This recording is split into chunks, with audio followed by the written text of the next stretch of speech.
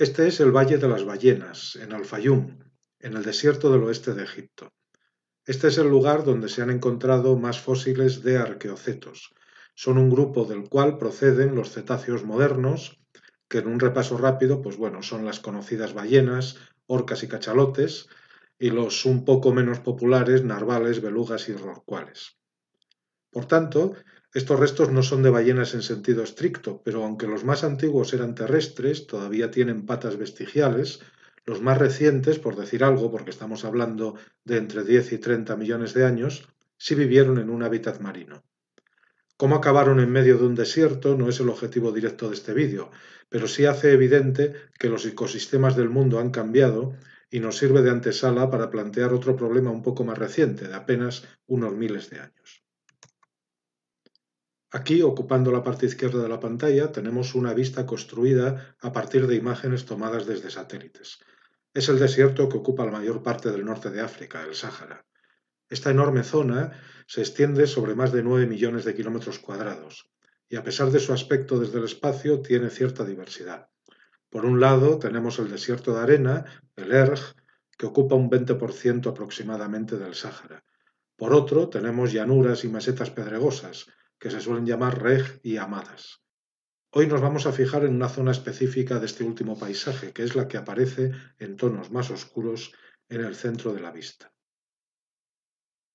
Es esta. En esta imagen se muestra un macizo montañoso que se encuentra en el sur de Argelia, en el centro del Sáhara.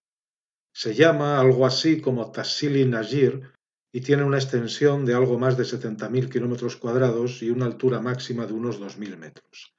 Esta zona es parque nacional desde 1972 y ha sido declarada Patrimonio Mundial de la UNESCO en 1982. Ahora vamos a ver por qué. Aquí ya estamos sobre el suelo, donde las rocas de arenisca muy erosionadas surgen de la arena. El interés de esta zona no es solo su paisaje. Resulta que es un lugar arqueológico que alberga unas 15.000 obras de pinturas y grabados rupestres, y aunque hay debate al respecto, algunas de ellas se considera que tienen unos 12.000 años de antigüedad. Estas obras fueron descubiertas para Europa hacia 1930, años en los que un militar francés llamado Brennans las visitó, llevando posteriormente a Henri Lot, un arqueólogo también francés un poco más conocido, que volvió en sucesivas expediciones hasta 1970. Hoy ya tenemos bastantes imágenes de estas obras. Vamos a ver algunas. Este mural es de los relativamente recientes y muestra a varias personas con camellos, un tema indicador de un entorno árido o semiárido. Algunos camellos llevan jinete, lo cual indica su domesticación. También hay pinturas y grabados de bóvidos que en algunos casos aparecen como ganado, criado por las poblaciones de la zona. Mientras que los camellos podían interpretarse como caravanas, el ganado indica un grado de sedentarización con además más recursos en forma de pastos para sostenerlo. Tenemos antílopes, la mayoría habitantes de formaciones como las sabanas, hoy inexistentes en la zona. Aparecen elefantes, jirafas, hipopótamos, lo cual indica la existencia de cursos de agua de cierta entidad. Basándonos en estas imágenes y cientos de ellas más, incluso con cocodrilos, tenemos algo más de información sobre la zona. En este trabajo del año 2001 se recopilaron evidencias sobre la presencia de cocodrilos en el norte de África. Obviamente en el Sáhara no existen actualmente, pero si nos fijamos no solo en el Tassili enmarcado en rojo, sino en más zonas del actual Sáhara, hay puntos de color blanco, que indican la presencia en el Holoceno de estos animales. Recordemos que el Holoceno es la era geológica que comienza tras la última glaciación, hace unos 12.000 años coincidiendo con muchas pinturas y grabados del Tassili. Estas imágenes que hemos visto nos sugieren que hace unos miles de años la zona de desierto actual era bien diferente, probablemente como la que se muestra en la imagen, una sabana con agua, pastos y árboles. Este es el único entorno que permitiría la existencia de los animales que se ven en grabados y en pinturas. Hoy, sin embargo, el paisaje del Erg es más o menos así. Luego nos haremos más preguntas, pero por comenzar por el principio. ¿Qué pasó aquí? ¿Cuándo pasó? ¿Era el norte de África húmedo hasta su transformación en el enorme desierto actual? Los análisis de sedimentos en cuencas actuales, antes posiblemente lagos, han permitido conocer algunas características del clima y del terreno en tiempos remotos. Por ejemplo, hoy sabemos que hace 14.000 años el norte de África no era húmedo. Este mapa muestra la cobertura del suelo durante el último máximo glacial. Los desiertos eran entonces mucho más amplios, más amplios incluso que ahora, y las zonas arboladas y las sabanas eran franjas al norte y al sur del desierto y semidesierto, de extensión bastante limitada. De esta situación de extrema aridez se pasó al llamado período húmedo africano, que comenzó justo a continuación, es decir, en el Holoceno, con diferencias, como veremos, en función de la latitud. Este período húmedo duró entre 7 y 9 mil años, depende del lugar, y el espectro de África cerca de su final, hace unos 5.000 años, sería aproximadamente este. Vemos que la vegetación, especialmente sabanas y pastizales o praderas, se extendió por amplias zonas del actual Sáhara y aunque se mantienen zonas desérticas, aparecen enormes lagos, hoy paleolagos, que se han bautizado como Magreb, Chad, Fazán o Agadez. Hoy son cuencas endorreicas cuyos sedimentos permiten saber que han pasado por varios periodos de humedad y aridez desde hace al menos 400.000 años. De estos lagos, solo el Chad, situado en el límite sur del Sáhara, conserva algo de agua en la actualidad. El Chad, en su mayor tamaño, en algún momento antes del 5000 a.C., fue el más grande de los cuatro paleolagos del Sáhara, con un área estimada de un millón de kilómetros cuadrados, mayor que el mar Caspio en la actualidad. En estas localizaciones se han hecho prospecciones que han permitido datar y entender los cambios climáticos que llevaron a la situación del presente. La hipótesis aceptada en la actualidad es que los cambios climáticos en esta zona se debieron a cambios en el movimiento de la Tierra alrededor del Sol. Hace entre 11.000 y 10.000 años coincidió atravesar el perihelio, el momento en el que la Tierra está más cerca del Sol, en el solsticio de verano, con los días más largos. Además, se hizo con un ángulo incrementado debido a cambios en la precesión, que es el ángulo del eje norte-sur de la Tierra con respecto al plano de rotación alrededor del Sol. Esto supuso que la cantidad de radiación solar fuera superior sobre un 8% en el hemisferio norte. Podría suponerse que esto provocaría más calor y por tanto más aridez, pero tuvo un efecto añadido que lo cambió todo. Al ser más fuerte el calentamiento solar sobre la Tierra del norte de África, se formó un área de bajas presiones que atrajo aire húmedo y precipitaciones del Océano Atlántico. Este efecto provocó monzones de verano más fuertes que llegaron además mucho más al norte. La oblicuidad de la órbita que define la cercanía al Sol y la precesión son responsables de dos de los llamados ciclos de Milankovitch, que han condicionado también el inicio y el cese de las edades de hielo de las glaciaciones. Luego, poco a poco, a lo largo de unos miles de años, los parámetros orbitales cambiaron y el periodo húmedo finalizó. Los monzones se debilitaron y se quedaron en latitudes más ecuatoriales, la desertización del Sáhara comenzó una vez más. Hay trabajos que estudian los efectos de estos ciclos por métodos diferentes. Por ejemplo, la imagen muestra las principales etapas de ocupación en el Sáhara Oriental basadas en fechas de radiocarbono de 150 excavaciones arqueológicas. Las regiones que se muestran están ordenadas de norte a sur. En verde tenemos fases de asentamientos estables que comienzan hace 10.000 años, especialmente en la zona central, etiquetada como el Gran Mar de Arena. Esta fase comienza un poco más tarde según bajamos en latitud y no mucho después los asentamientos se establecen en prácticamente toda la zona, salvo en el sur más profundo donde comienzan hace unos 7.000 años. Cuando el periodo húmedo comienza a desaparecer, las poblaciones cambian de ubicación y se retiran a refugios climáticos, que son las zonas con rayado verde en la imagen. Las zonas abandonadas como residencia aún pueden mantener algunos usos, como la transhumancia estacional. Se verifican también migraciones hacia el sur, hacia el actual Sudán, los dos últimos lugares mostrados en el gráfico. Finalmente, en los últimos 5.000 años, el suroeste de Egipto queda abandonado, mientras que la ocupación en el norte de Sudán persiste hasta el final de las condiciones de humedad en el 1500 a.C. Hoy los dos tercios septentrionales de Sudán son desiertos. Hasta aquí hemos visto la explicación de las pinturas y grabados del Tasil Najir, comprobando que la zona experimentó un importante cambio climático que obedece a ciclos que se deben a su vez a parámetros orbitales de nuestro planeta. Expuesta la cuestión de ciclos climáticos, vamos a volver a otro asunto que antes no tocamos. En esta imagen, tomada desde la Estación Espacial Internacional, vemos lo que es actualmente una parte del Sáhara, enormes cantidades de arena. He comentado antes que el Erg, el desierto de arena, cubre casi dos millones de kilómetros cuadrados en el Sáhara. Hay otros lugares con desiertos de arena en el mundo, de hecho hay docenas de Ergs distribuidos por todos los continentes salvo en la Antártida.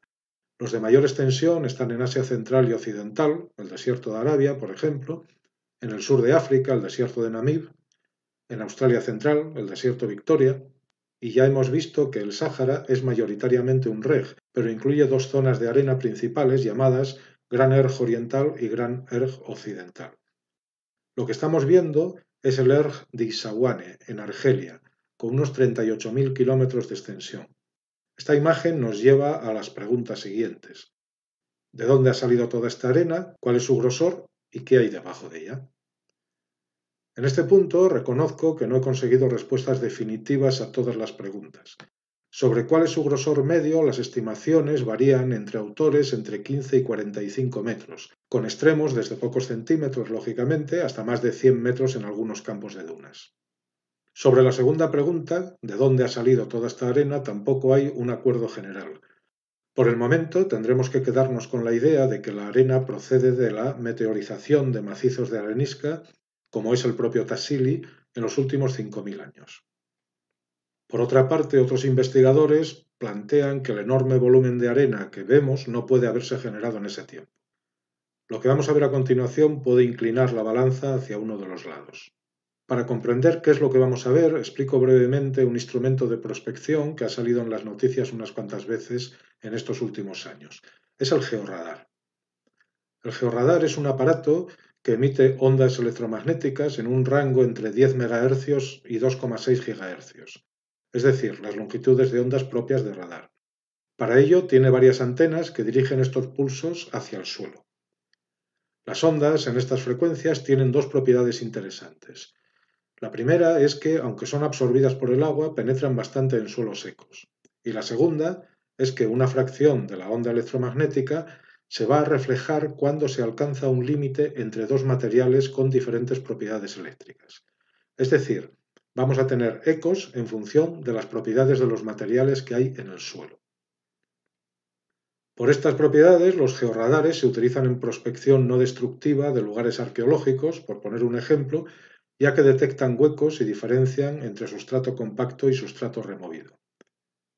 Con lo dicho, ya podemos hacernos una idea de que los desiertos son sujetos muy adecuados para usar georradares, ya que las arenas son un sustrato con una humedad mínima y en estas condiciones las ondas de radar podrían explorar por debajo de la superficie hasta unos cuantos metros. Esta es una vista clásica de un georradar terrestre, explorando en este caso un castro prerromano en Villas Viejas del Tamuja, en Cáceres, donde nuestro grupo de investigación participa con el Instituto de Arqueología de Mérida en un proyecto que este instituto lidera. La vista aérea muestra que lo excavado es aún muy poco, pero los diferentes métodos de prospección han permitido construir ya un plano muy detallado de murallas, edificios y calles. El problema que podemos suponer ahora es cómo se puede usar un georradar en las grandes extensiones cuando ya en un poblado como este hay que moverlo por toda la superficie y siguiendo además unas guías estrictas para poder generar una imagen final que sea coherente. La respuesta es que el Sáhara solo puede estudiarse desde lo alto, con lo que se va a usar un equivalente al georradar, pero transportado por un satélite. En noviembre de 1981, hace ya 40 años, un radar denominado SIR-A Tomó datos de la Tierra durante apenas dos días orbitando a 260 kilómetros de altura en la lanzadera Columbia. Algunas escenas se tomaron sobre el Sáhara y esta es una de ellas. La zona registrada por el radar es la que está sin color. La coloreada corresponde a una imagen de un satélite de observación esencialmente fotográfico, Landsat. En tonos amarillos y naranjas vemos la superficie del desierto y en la franja central lo que hay debajo, donde se acaba la arena. Es fácil darse cuenta de que hay varias estructuras reconocibles en esa franja. La marcada en el recuadro es, en efecto, un fragmento de una red fluvial. A partir de esa primera imagen se fueron haciendo análisis cada vez de más lugares, aprovechando otras capacidades de los sensores, como por ejemplo la posibilidad de reconstruir la elevación del terreno de la superficie que está bajo la arena. En la imagen izquierda aparece una zona de eco muy escaso, en color oscuro, que se identifica visualmente con un cauce. A la derecha se muestra la clasificación del terreno que se realiza añadiendo el resto de la información sobre las elevaciones.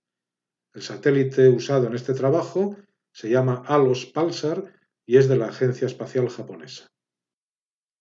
Estas otras imágenes son del río Tamanrasset, en el oeste del desierto del Sáhara, donde se ha logrado también por los mismos medios reconstruir todo el paleodrenaje de una cuenca de más de 2.000 kilómetros de longitud.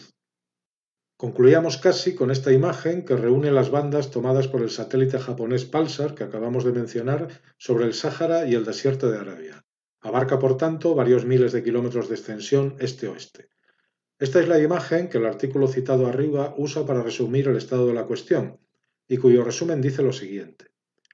El radar de apertura sintética, SAR, tiene la capacidad de obtener imágenes de características del subsuelo hasta varios metros de profundidad en regiones áridas. Una primera demostración de esta capacidad se realizó en el desierto de Egipto a principios de los años 80 con la primera misión del SIR-A. La cobertura global proporcionada por los radares recientes como el sensor japonés ALOS Pulsar permite la cartografía de vastos sistemas hidrográficos antiguos en el norte de África.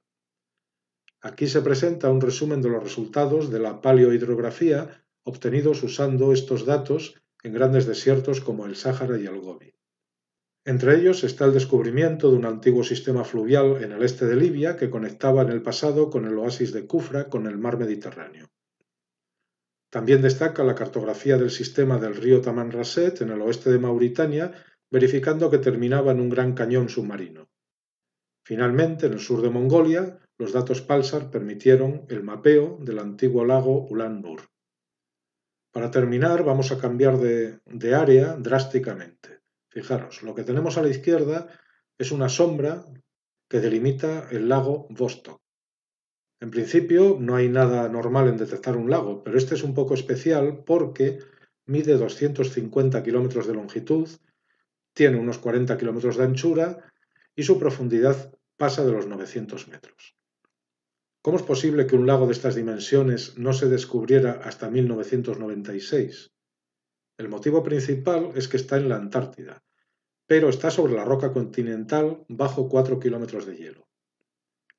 El lago fue detectado, como vemos a la izquierda en los datos, de un altímetro radar transportado por un satélite europeo, el ERS-1.